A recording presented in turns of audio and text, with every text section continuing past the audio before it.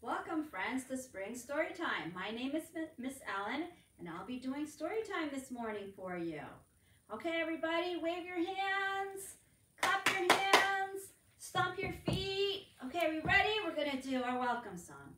We clap and sing hello, we clap and sing hello. With our friends in story time, we clap and sing hello. We wave our hands hello, we wave our hands hello. With our friends in story time, we wave and sing hello. We stomp and sing hello. We stomp and sing hello. With our friends in story time, we stomp and sing hello. Okay, my friends, today we're going to talk about the letter C. C.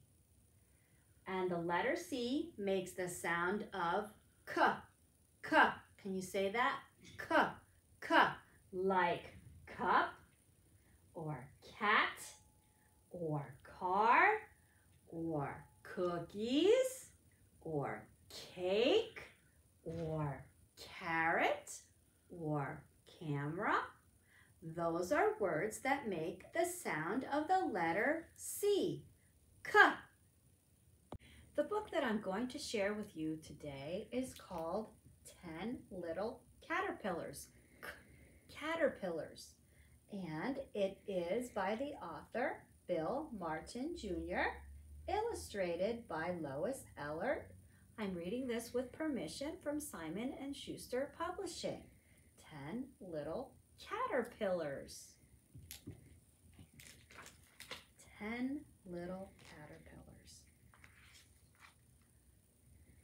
Let's see if we can spot the first little caterpillar. The first little caterpillar crawled into a bower. There he is. The second little caterpillar, caterpillar wriggled up a flower. It wriggled up a snapdragon flower.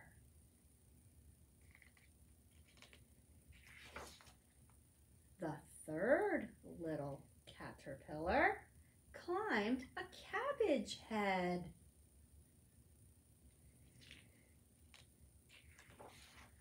The fourth little caterpillar, there he is, found a melon bed.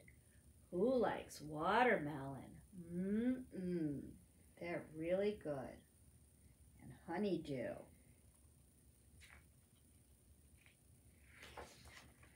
The fifth caterpillar sailed a garden pool. Sat on a maple leaf. The sixth caterpillar was carried off to school.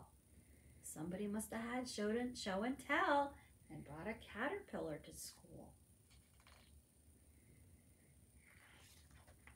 The seventh little caterpillar met a hungry wren. I hope he gets away from the hungry wren. The eighth caterpillar was frightened by a hen.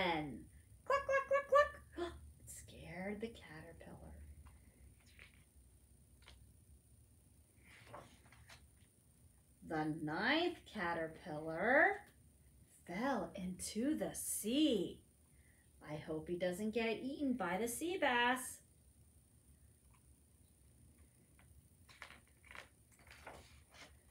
The tenth caterpillar scaled an apple tree. Who likes apples? Mm-mm, I love apples. So he scaled an apple tree.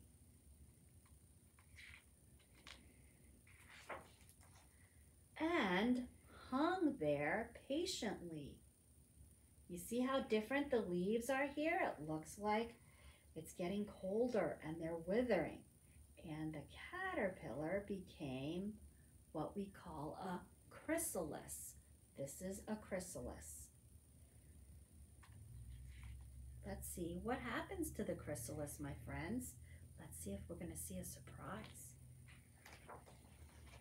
until by and by the tenth little caterpillar. I see a little head there with antennas. And do you see how the apple tree changed? It's not withered and yellow anymore. It looks like there's apple blossoms. It's springtime. That's when the apple blossoms bloom. It's spring, and let's see with our chrysalis. I see a little head peeking out. It became a butterfly, a beautiful butterfly. So a caterpillar can turn into a butterfly. These are all the different types of caterpillars that we saw in this story. The first caterpillar is called um, was called a mourning cloak, and the mourning cloak feeds on tree leaves, nettles, and wild rose leaves, and it became this beautiful butterfly. The second butter, uh, caterpillar that we met in the story is called a buckeye. And the buckeye caterpillar feeds on a variety of leaves, including snapdragon leaves and it became this beautiful butterfly. The third uh, caterpillar that we met was called a cabbage looper. And a cabbage looper caterpillar devours leaves like garden crops. And it becomes a moth. It's a little different from a butterfly, a moth. The fourth caterpillar that we met in the story was called a yellow bear and the yellow bear caterpillar chomps on tree leaves and leaves of garden crops. And it becomes a Virginian tiger moth. The fifth caterpillar that we met was called the yellow-necked caterpillar, and it feeds on tree leaves, and it also becomes a moth. The sixth caterpillar that we met in the story is called a monarch caterpillar and it eats only milkweed leaves and it becomes this type of beautiful butterfly.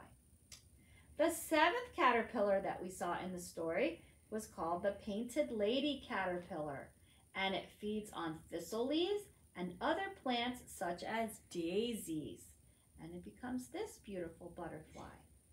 The eighth caterpillar that we met in the story was called the woolly bear caterpillar. And it eats many low growing plants like grasses and weeds.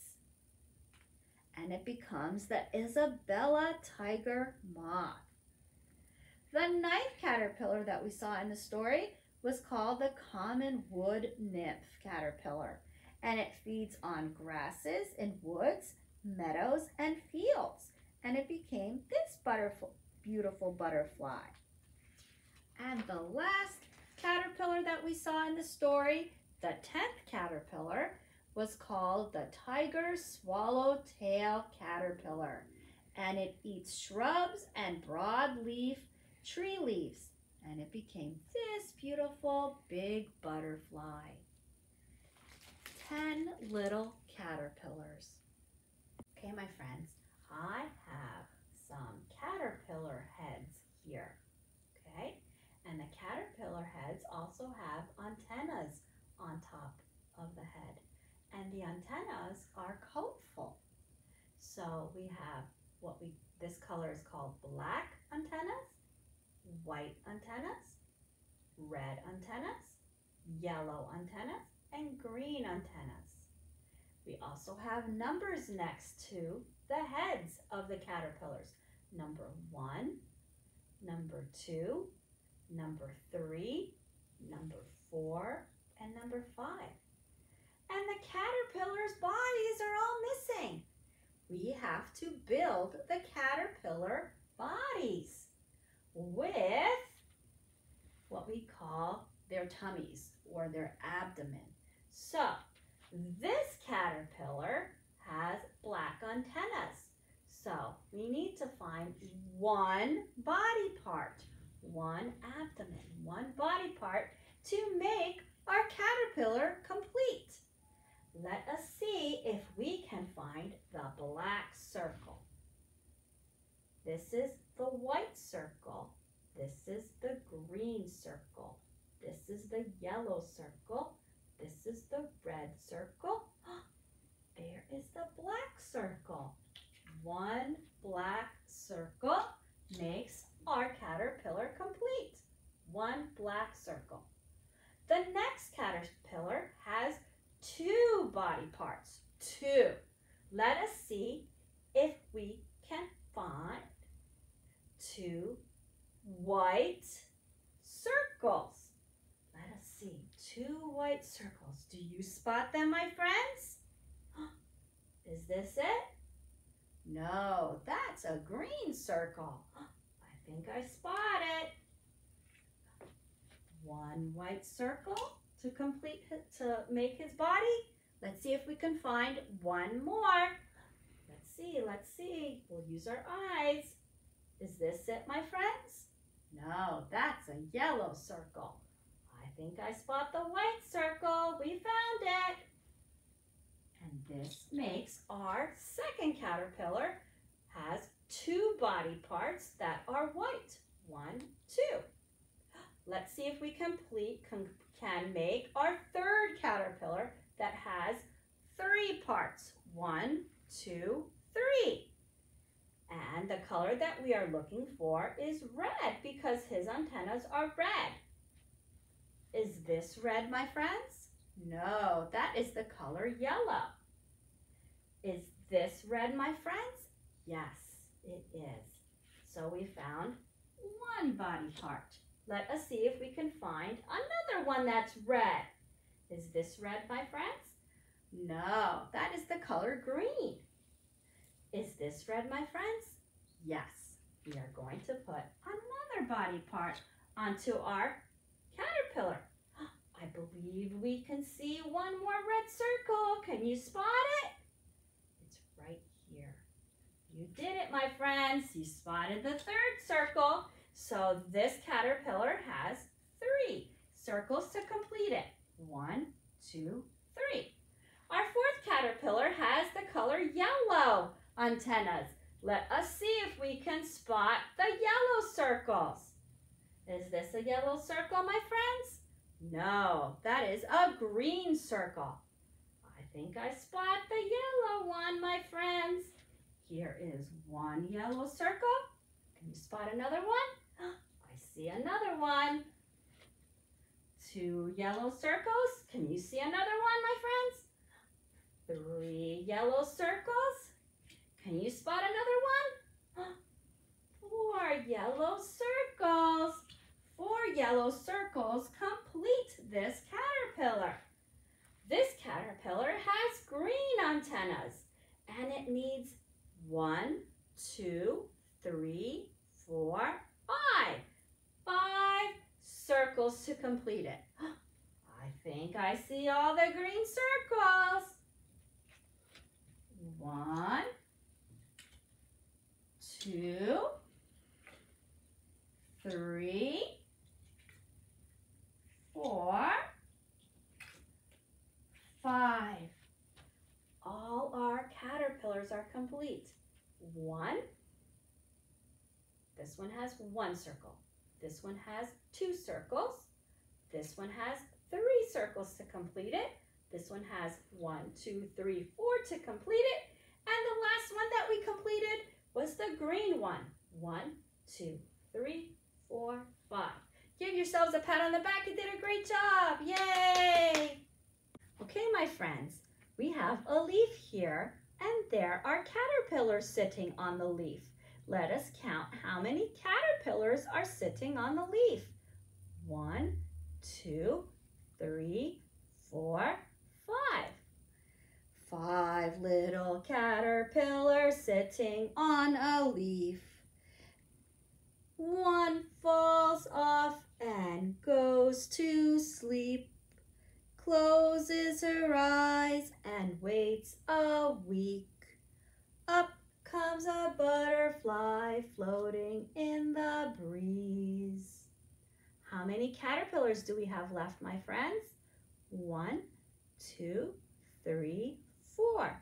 Four little caterpillars sitting on a leaf. One falls off and goes to sleep. Closes his eyes and waits a week. Up comes a butterfly floating on the breeze. How many butterflies do we have left? Uh, caterpillars do we have, my friends?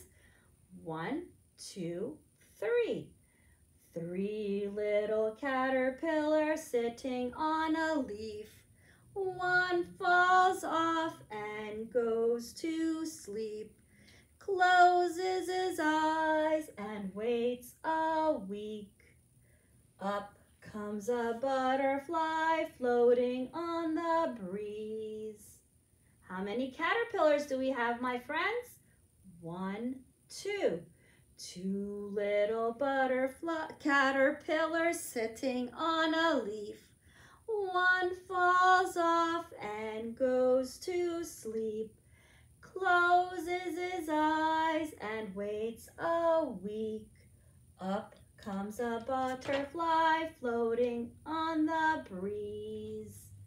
One little caterpillar sitting on a leaf closes his eyes and goes to sleep. Up comes a butterfly floating on the breeze. He fell down. How many butterflies do we have now? One, two, three, four, five. All the caterpillars became all these beautiful butterflies. Yay! Okay, my friends, today we talked about caterpillars. So this is what we call the life cycle of a caterpillar. The caterpillar is an egg in the beginning and it sits on a leaf. And then it grows into a caterpillar. Then the caterpillar creates what we call a chrysalis. It like wraps itself up like in a blanket. And it stays like this for a little while. And then a butterfly comes out of what we call the chrysalis or the cocoon. And then the butterfly becomes a beautiful butterfly that can flutter its wings and fly away.